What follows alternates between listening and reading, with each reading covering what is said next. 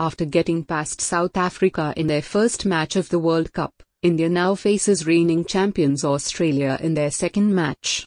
India won by six wickets with Rohit Sharma scoring hundred.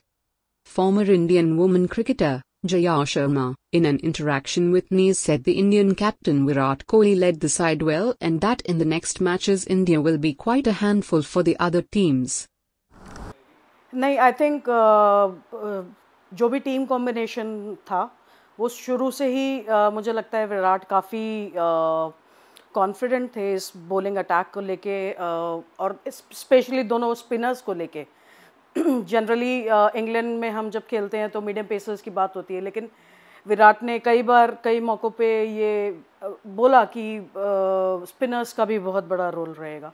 तो I think वो चीज़ देखने को मिली और जिस तरीके से चहल ने एक पर्टिकुलर जैसे आप ऑर्थोडॉक्स स्पिनर बोलते हो उस तरीके से डिसमिसल्स लिए हैं।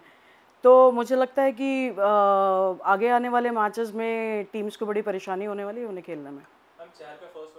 India will be playing their next match against Australia on June 9th at the Oval.